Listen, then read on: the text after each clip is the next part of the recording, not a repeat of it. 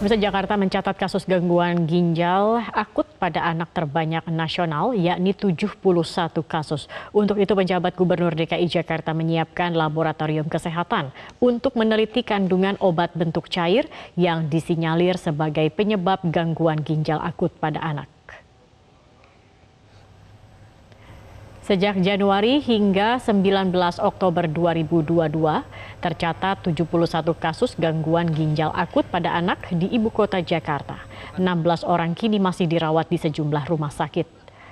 Sebagai daerah dengan kasus gagal ginjal akut pada anak terbanyak, Pemprov DKI Jakarta di bawah kepemimpinan PJ Gubernur Heru Budi Hartono menyiapkan tiga langkah, yaitu mengumpulkan rumah sakit untuk melakukan sosialisasi sehingga ada identifikasi lebih dini apakah ada kasus yang belum terlaporkan.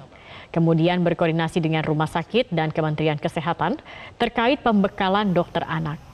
Selain itu, Labkesda DKI telah siap menjadi laboratorium pendamping untuk pemeriksaan toksikologi.